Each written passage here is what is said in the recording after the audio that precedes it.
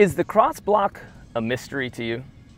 Do you feel like you're giving up way too much court anytime you're deciding to throw your blocker in the diagonal and you got to defend that line? It can feel icky, right? To give up that much space on the court and let the hitter know, hey, I'm on your side and you have a football field to hit into. So in this video, we're gonna go over the right way to block cross and defend down the line.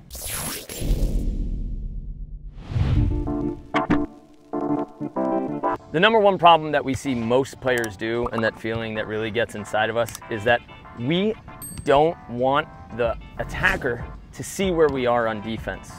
So when we call for a cross block, we know that we're attempting to hit the most common swing, which is the diagonal hard cross swing. So when we put our blocker there, that's the idea, to make sure that that's protected and we can at least stop that.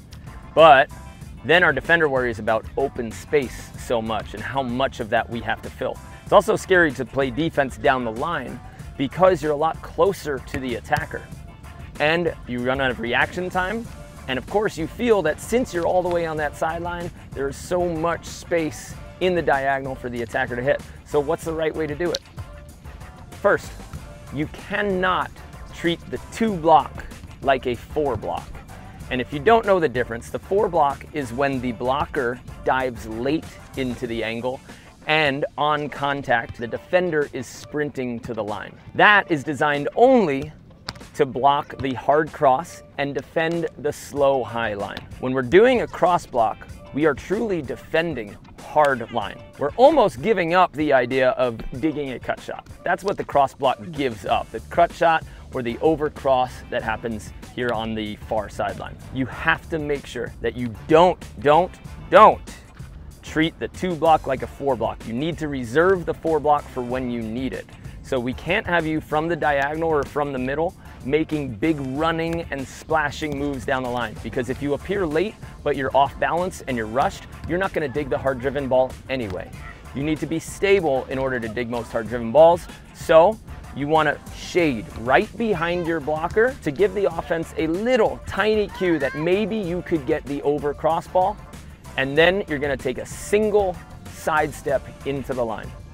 One of the biggest mistakes that we see players make is that they get all the way to the sideline. They think that their feet have to be on that sideline. But if my foot is on a sideline, then my arm is defending space out of bounds. So I'm wasting some of my body.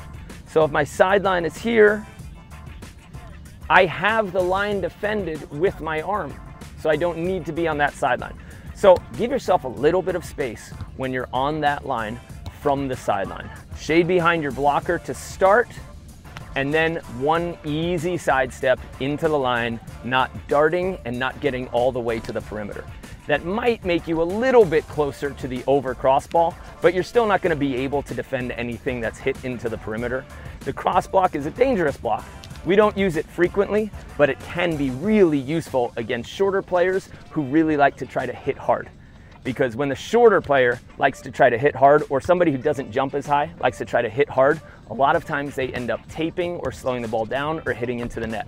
So we show that our blocker is in the diagonal. That hitter gets really thirsty and they try to bang down the line, and all of a sudden it's a harder angle, so they might hit out, they might hit into the net, or they might tape it and give you an easy free ball. So that's cross blocking and line defense. The most common worry or common question that we get is like, if I'm all the way on that line for the attacker, how am I ever gonna get to the overcross? And here's the answer. You're probably not. This defense isn't designed, every defense isn't designed to pick up every shot efficiently. But if we can make the hitter change for one or two plays, if we can get them to do what we want them to do and make sure that they stay thinking or insecure, we are gonna be a better defender for it and we're gonna have a better defensive system. So don't worry when you don't get a dig in one defensive set, so long as you're continuing to think about what that attacker is trying to do over the long course of the match. One easy drill that we can do for this is having a attacker on a box hitting down the line. Make sure that when the attacker tosses, your defender shifts into the line calmly with one single push lateral step. We don't want them darting, we don't want them sprinting into that position, just far enough so that you're one light shift away. Make sure that you're not making any big splashes because that would be proof that you're trying to sprint into your position. So, hitter or coach on a box, blocker blocking cross, coach tosses, defender shifts into the line, and get a hard driven attack. If you want to help them help cover the overcross, then that coach or that hitter should hit some balls into the high diagonal, but make sure you're not hitting a cut shot because this block defense is not designed to pick up any perimeter balls or any cut shots. It's designed to pick up the hard driven line and a sloppy overcross ball. Before you head out, I'd like to hear from you. So I want to know in the comments below why or when you choose to use a cross block. Is it random just to switch it up? Is it against a certain type of player? Or is it a reason that you have that I don't know about? Let me know in the comments, I wanna hear. So here at Better at Beach, we run classes and camps all the time, so I hope you head to the website and I hope you download our free drill book, which is below. If you're on our email list, you're going to get the first opportunities to our limited opportunity and limited capacity exotic camps around the world and around the US. If you don't want to come to a camp or you can't find us in person, don't even worry about it because we got you set up with amazing courses. And if you like defense, we have a 60 day ultimate defender course that you can take with us. It's an intensive live course that happens one time per year. Make sure you're on the email list to find out about it. The recorded version is always available, but you're gonna get live feedback and have Q&A two times per week anytime you do one of our live courses. Head down to betteratbeach.com, check out the links below, and I'll see you next time.